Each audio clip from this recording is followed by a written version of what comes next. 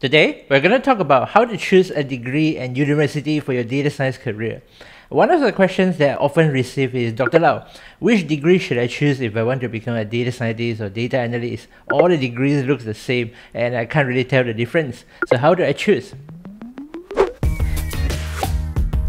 Let's look at the three essential skills that you need in a data science career first, which are programming, mathematics and statistics, and domain knowledge.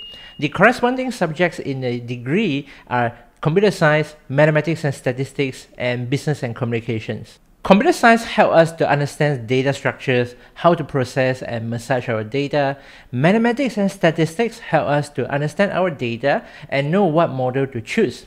Business and communication skills enable us to identify business problems, create visualizations, and present our findings. So, how do you pick your degree based on these skill requirements? Well, it depends on your career path. For example, if you want to become a data scientist, then you need to be an all-rounder. Uh, if you want to be a data analyst, Uh, you need to be strong in business analytical skills. A data engineer needs to be good in networking and cloud computing, and AI developers or machine learning engineer needs to be good in mathematics. I've put the university subjects into three categories, the must-have subjects, good-to-have subjects, and interest-based subjects. You can use this as a guideline to help you to pick the degree that suits you. The must-have subjects are subjects that everybody should learn, no matter which career path you choose. For example, SQL. SQL is a language that we use to manage relational databases like MySQL or Microsoft SQL.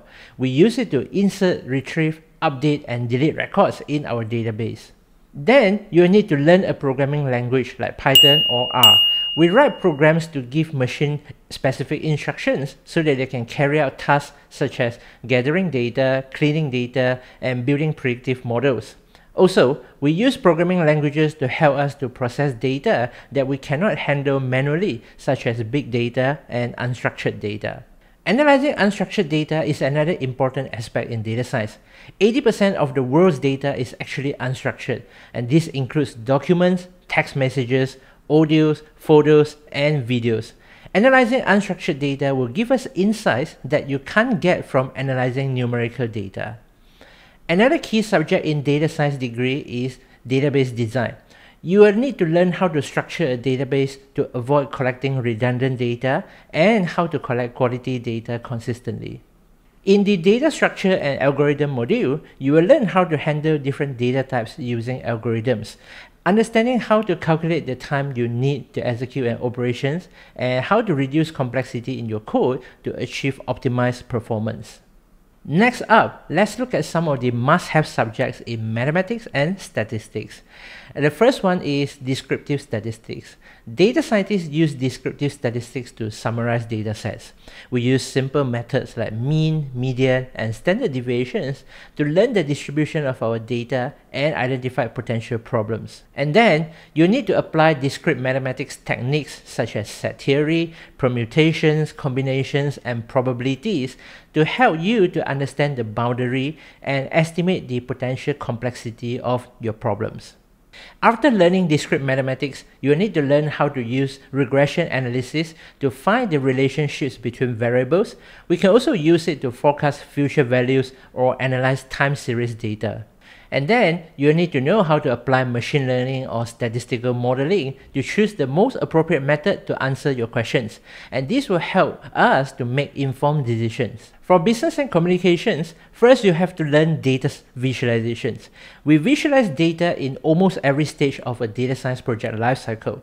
Visualization help us to identify outliers, understanding distributions, finding patterns, and presenting results to stakeholders. Also, make sure that you choose a business subject that covers predictive analytics in the industry.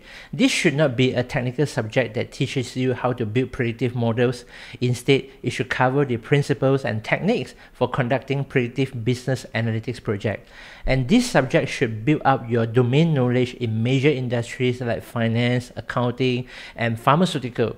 You will learn how they apply analytics in their businesses. Alright, let's look at some of the good to have subjects now. The subjects here are good to have because not everybody needs them. It depends on your career goal. For instance, if you want to become a machine learning engineer or you want to venture into neural networks and AI, you will need to learn calculus. We use calculus in deep learning to help to find the rate of change of our functions so that we can use it to optimize the performance of our models and improve the accuracy. Now, if you want to work with text and social media, you will need to pick up natural language processing or what we call NLP in short. NLP allows us to extract topics from documents, which we can use it to identify fake news, understand product reviews, or perform sentiment analysis. It's also one of the main technologies behind the voice assistants like Siri and Alexa.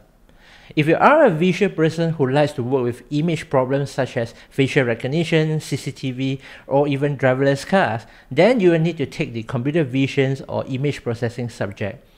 Here, you will learn how to process images and videos to identify objects, recognize human faces, detect movements, and how to track vehicles to prevent accidents. If you want to become a data engineer, then you must take the networking and cloud computing subjects. In networking, you learn how to design a secure and scalable network architecture for users to ingest, publish, and consume data.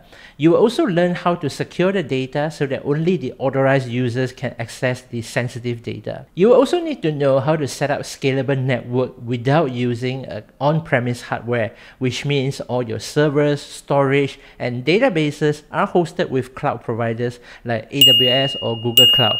And don't be intimidated by the term cloud. It simply means the internet.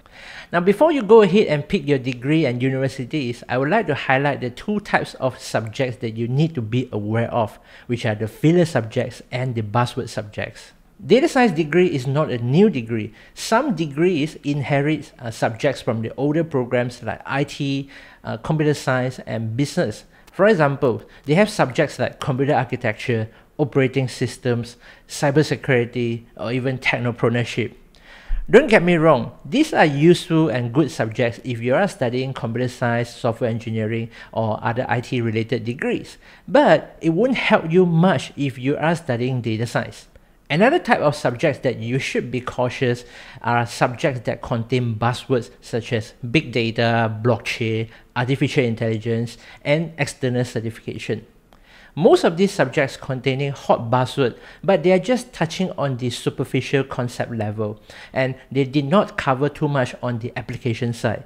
Also, these technologies are still evolving, so the industry might have changed after you have completed your degree, and there are also not that many jobs out there that requires the knowledge of these buzzword related technologies. And same goes to external certifications. Some subjects are tied to or they are part of the requirements to get an external certificate. Make sure these certificates are relevant to your future job before you pick them. Next, I will show you how to pick a university based on these criteria that I have just showed you. Alright, first let's look at the Bachelor of Science Honours degree in Computer Science with a specialism in data analytics offered by Asia Pacific University or APU in short. And let's look at their course structure first. In the level 1 degree program, uh, it's good that they cover Python programming and mathematical concepts for computing. And there's this introduction to C programming module in the specialized modules. Um, I don't think you really need C programming in data science, but you may want to take it if you want to build a solid foundations in uh, programming or you want to deep dive into data structures and algorithms. And in level 2, we hardly use Java in data science, but in this subject, it gives you a good understanding of object-oriented programming or OOP. And most of the subjects in the specialized modules, uh, they are pretty practical and related to data science, such as data structure, data management, data mining and predictive modeling, and also probability and statistical modeling.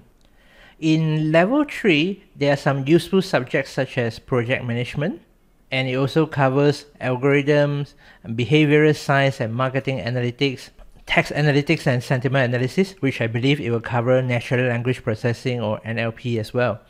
Overall, this program covers pretty much uh, most of the bases in data science, but it didn't cover too much on the mathematics and statistics part, and also there are less specialized subjects like machine learning, computer vision, and data engineering related subjects like cloud computing.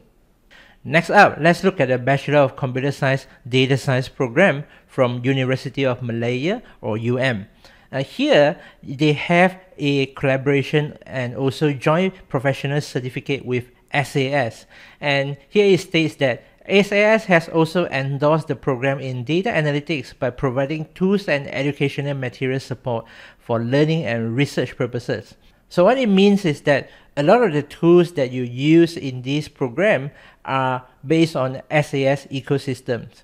This is something that you need to be aware of. Make sure you check with your future employers whether they are using SAS or they are planning to use it or not. Because SAS is a proprietary software and their licensing fee is not cheap. Only large corporations have the budget and most of the SMEs they are not willing to spend that money. They would rather go for some open source tools like Python, R or Orange for example. Alright, now let's look at their cost structure. Uh, it's good that we get to learn the fundamentals of programming and also computing mathematics in the first semester, but make sure that you check what language they are teaching in the fundamentals of programming. But the thing is, we only start to learn data science in semester 2.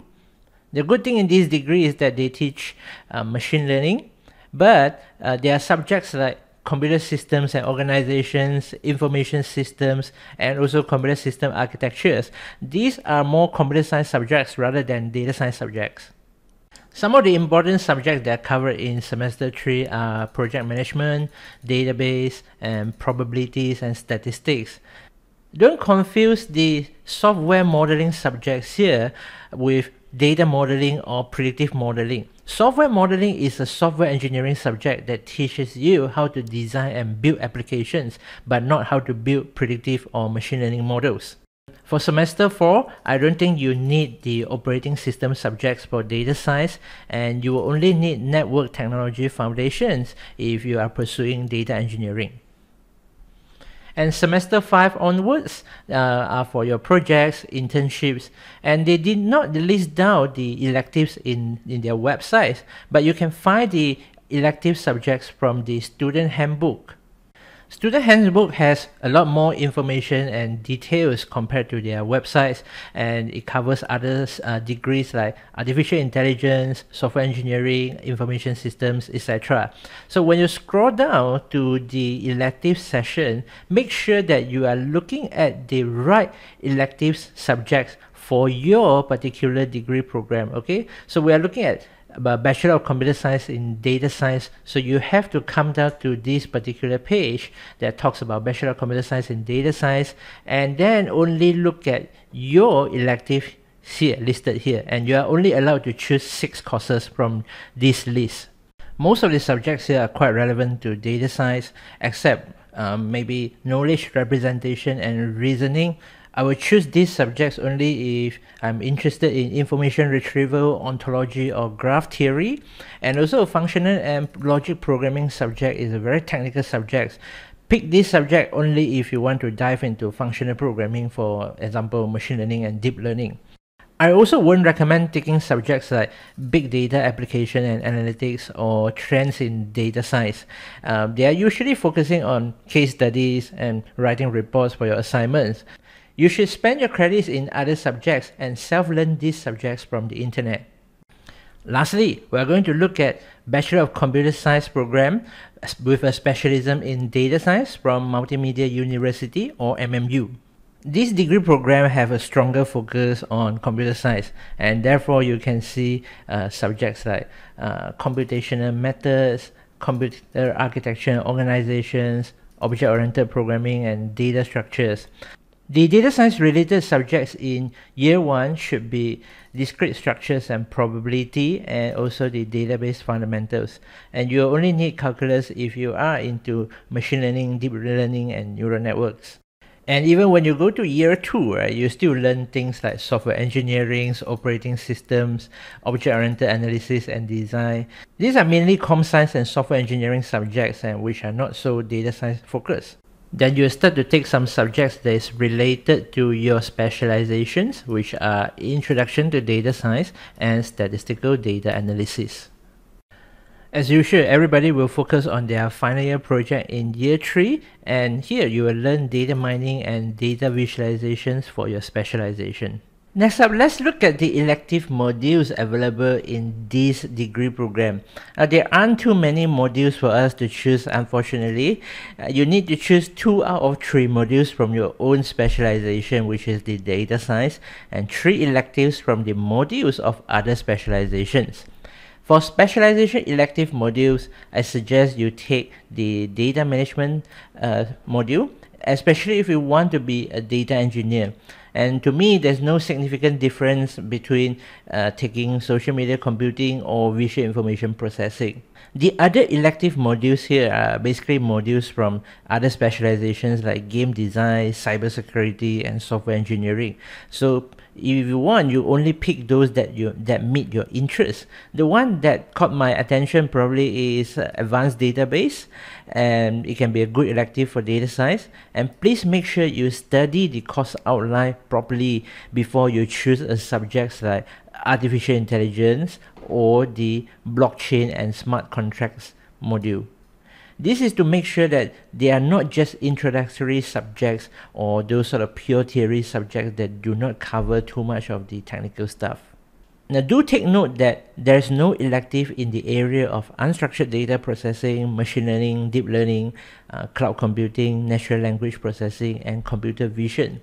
So this degree program suits those who want to learn data science and wish to have a strong uh, focus and background in computer science and probably doesn't suit those of you if your career goal is less technical or you wish to focus more on the business side. By now, you should have a clear understanding on how to pick a data science degree and university based on your career path. Now, what is the subject that you look forward to learning the most? Let me know in the comments and I will see you in the next video.